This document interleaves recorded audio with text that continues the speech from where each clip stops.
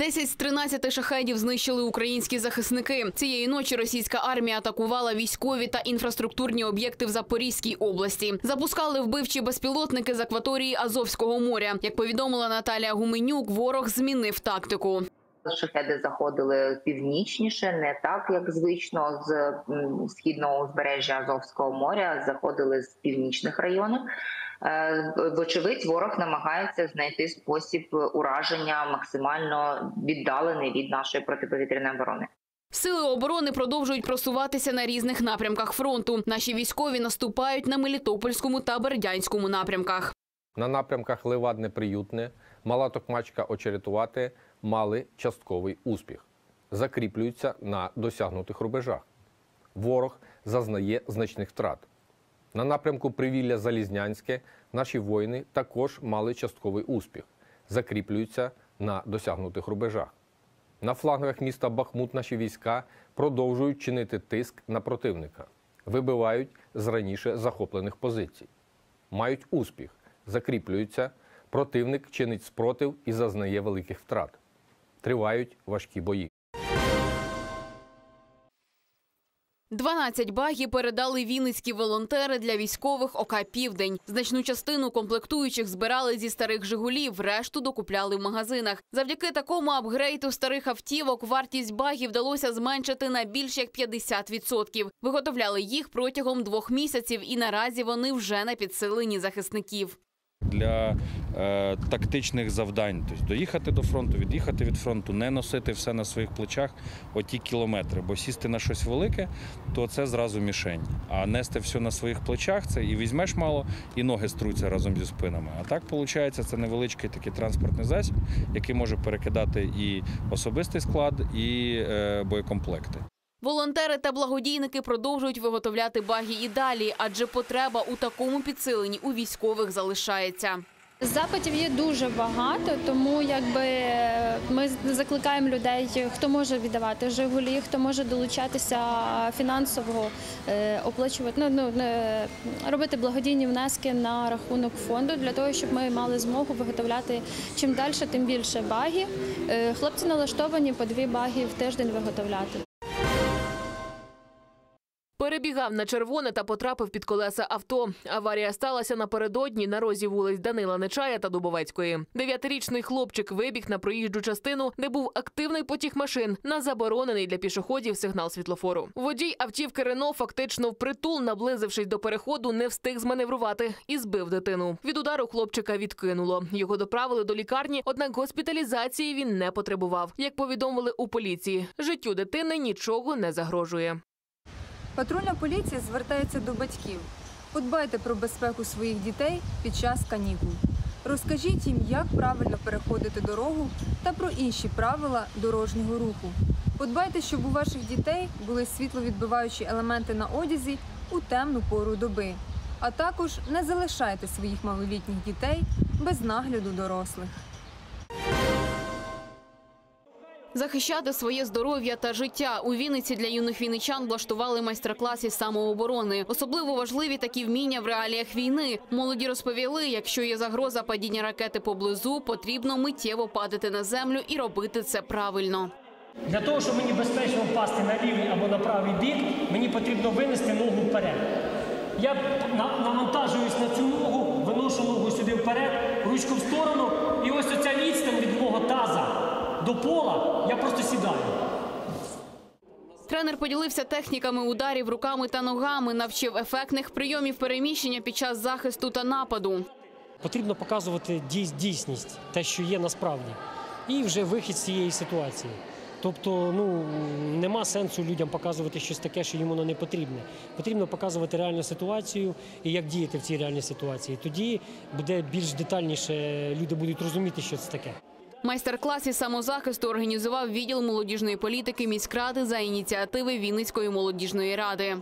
Якщо, не дай Боже, буде чи е, взрив, чи якісь е, будуть чути снаряди, знову ж таки, як правильно себе е, убезпечувати, щоб молодь мала такі вміння все ж таки за себе постояти і себе захистити.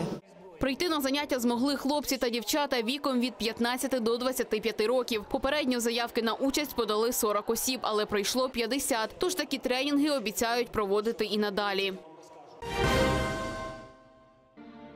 Підірвавши Каховську ГЕС, рашисти прирекли на смерть мирних жителів Херсонщини. Люди тонули у власних будинках. В 6 годин ранку нас розбудили, що почали всі, що йде вода з Каховської ГЕС. Ну, від нас це 20, десь 15-20 кілометрів. У нас річка тече біля нас конка. І е, люди в 6 годин вже їх просто топили. Вода прибувала, вони тікали, в чому бачили, до нас в село. Потім почало до нас. От двоє суток у нас вона прибувала, прибувала, прибувала. Потім вона пішла далі Олешки. Пані Ірина залишила на лівій окупованій стороні українського кавунового краю все, що мала, і вже за кілька днів після трагедії була у Вінниці. Жінка стала на облік у Вінницькому центрі соцслужб. Вона з донею одна з 15 сімей, які переїхали до Вінниці після підтоплення рідних домівок. Було проопрацьовані списки переміщених осіб, які 6.06 з тих територій, які підтоплені, приїхали в нашу громаду і зареєструвалися як внутрішньо переміщені особи. Саме таких людей ми відібрали, щоб їм надати допомогу.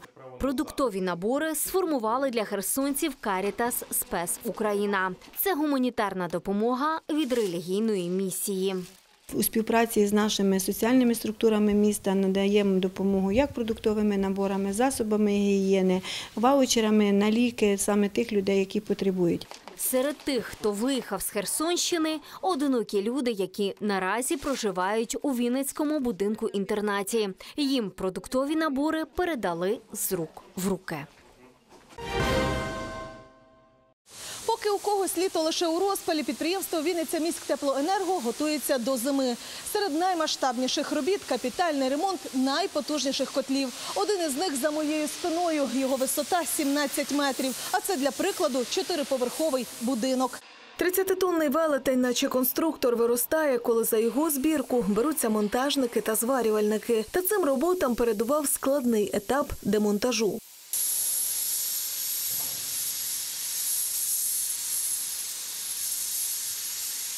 Всі старі поверхні нагріву, а саме екранні труби та конвективні системи зрізали. Без їх заміни, кажуть фахівці, працювати наповну котел вже не міг.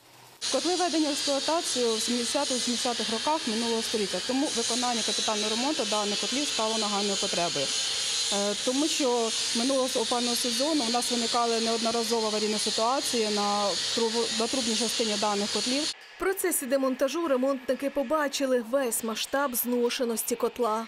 Заміна була важлива, конективна частина була геть, ну, видно було аж, е, що вона прогнила, дуже дирява була. Ну і екрани так що теж самі основні міста, то там вже вони були дуже тоненькі. Ну, саме більше ізнос іде. Яким тепер буде котел? Чудовим, гарним буде робити на всі сто. В підсумку капремонт для підприємства «Міськтеплоенерго» дасть низку переваг. Підвищиться ефективність та працездатність котла, знизиться споживання блакитного палива, зменшиться рівень викидів парникових газів, збільшиться термін експлуатації обладнання. На завершальному етапі вся конструкція котла буде обмурована вогнетривкою сумішю. Загалом же котельня забезпечить якісною подачею тепла понад 25 тисяч споживачів вишеньки. До Вінниці привезли ще чотири генератори від німецьких партнерів. Це другий вантаж, який приїхав на підсилення життєдіяльності нашого міста. А ще це п'ятий транш гумдопомоги від Міністерства закордонних справ Німеччини і товариства міжнародного співробітництва GIZ. Генератори потужністю 60, 100 і 300 кВт. Допомога міжнародних меценатів сьогодні актуальна та необхідна, адже Вінниця активно готується до початку наступного осінньо-зимового періоду та опалювального сезону. А генератори будуть необхідні в разі блекауту через терористичні обстріли. 300 кВт – це доволі потужний генератор, який дозволить забезпечити роботу можливо, і цілого якогось невеликого підприємства. За ініціативи Вінницького міського голови Сергія Моргунова та міжрегіонального гуманітарного штабу е, ми проводимо постійну співпрацю з нашими західними партнерами в гуманітарній сфері. З е, ГІС ми співпрацюємо вже не перший рік. Е, Ця організація постійно надає нам допомогу як гуманітарну, так і нематеріальну допомогу. Ось е, наші німецькі партнери постійно співпрацюють з нами в різних сферах, включаючи і соціальну сферу, і різноманітні інфраструктурні проекти також з ними реалізовуємо. З Вінниці до Сумщини знову поїде важка техніка. Екскаватор необхідний для ліквідації наслідків обстрілів, зокрема розборів завалів, адже Білопілля потерпає від ворожих ракетних та артилерійських ударів. На прохання Білопільської міської територіальної громади, це Сумська область, вони знаходяться 30 кілометрів від е, ну, прикордоння. Е, Тому е, в них відбуваються постійні обстріли. Ми маємо всі бути згуртовані громади і підтримувати одна другу. Тобто це ж ніхто не знає. Сьогодні ми підтримуємо, завтра нас підтримують. І чим більше ми можемо надати такої допомоги, тим краще. Дорученням міської ради передає екскаватор управляюча компанія Київська. Техніка, хоч і не нова, та працює на всі 100. Ми е, зробили е, реконструкцію трактора, е, ремонт. Тобто всі роботи, які він виконував, коли він був як новий, він зараз так само може виконувати. Може завали розбирати, погрузочні, розгрузочні роботи. Тобто є ковш, який виконує погрузку автомобілів, е, риття котлованів, е, е, розпланування території, тобто є спереду е, відвал, який може розпланувати територію і е, в принципі вже після того виконуються там навіть асфальтні е, роботи. Це вже не перша допомога для Сумщини. Місяць тому міська рада відправляла Білопіллю автокран для цих же потреб. Майже сотня песиків живе у пані Лілі з Жмеренки. Чотири роки жінка рятує чотирилапих від смерті, даючи їм дах над головою і огортаючи турботою. Оце Сірко. От нього, бачите, он більмо на глазу. І він рахіт. Це його теж щенком. З мамкою привезли. Щінки заболіли інтерітом, мамку пристроїли. Мамка гарна була. А він от лишився. Бандитка, Аська, Джек, Боді, Аслан, Жужа, Амур, Чернуша, Том, Барні. Усі песики стерилізовані, мають щеплення та соціалізовані. У мене мрія, щоб знайти спонсора, який би допомагав зі стерилізацією тварин. Не тільки безпритульних, бо на безпритульних можна знайти програми, а всіх тварин, які люди бажають простерилити. Е, Дуже е, це, щоб іменно люди з села. Бо саме основне, що в місто вивозять, це люди, які з села. У них не стерильні тварини, вони збирають це все своє потомство і вивозять і викидають в місто. Окрім песиків, мешкають у пані Лілі ще й котики. Під опікою зооволонтерки наразі 120 пухнастих моркотунів. Цього котенятка люди викинули. Викинули за чого? Тому що в нього тут от на глазіки от лішайок. От. Лішайок і тут от десь коло мордочки. От. Хлопчик. Хоча хлопчиків дуже рідко, що котенят от, е, стараються в родину. От зараз його почали лікувати. Воно вже от заростає. Ну, була, звісно, дуже відкрита. Ну, пляма така. Оце от тут чорненьке, воно вже заростає. Ефект вже є. О. Вже знайшлася родина, заберуть його в родину. Утримувати таку кількість тварин завдання не з легких. Тож будь-якій допомозі від людей пані Лілія радіє і дякує. Любий сухий корм для котів, для собак. Любий сухий. Їдять все. Не обов'язково якийсь там елітний корм. Обробки ще можна, любі обробки. Від проглистовка, від бліг, від кліщів обробки. Все, що для тварин, приймаю задоволенням. Щодня усі ці песики та котики живуть у надії отримати домівку та люблячого господаря, який піклуватиметься про них, а вони, в свою чергу, даруватимуть любов і вірність на все життя.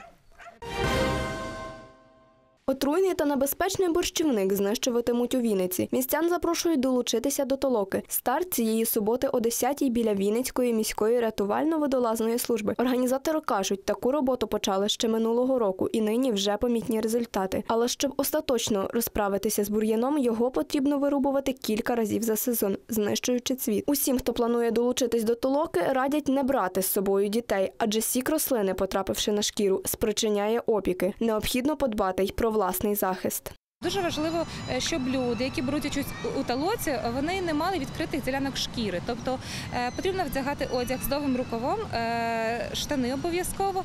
Е, Звичайно, латексними рукавицями ми будемо забезпечувати, але просимо брати з собою е, лопати, сапи і секатори, тому що суцвіття ми будемо зрізати. На жаль, інструментами забезпечити не можемо. Гризуни розміром із собаку. Найбільшого у світі кролика створив мексиканський студент Андерс Якін. З допомогою генної інженерії він схрестив фламандського гіганта, який має вуха середньої довжини, із домашнім кроликом, якого вуха довгі. Велетні мають вагу від 9 до 11 кілограмів. У той час як найбільший вид домашніх пухнастиків важить від 6 до 10. Цей проект Андерс створив два роки тому, вивчаючи зоологію та ветеринарію у університеті. Хлопець вважає, що з допомогою генетики можна виростити вуханя вагою 14 кілограмів.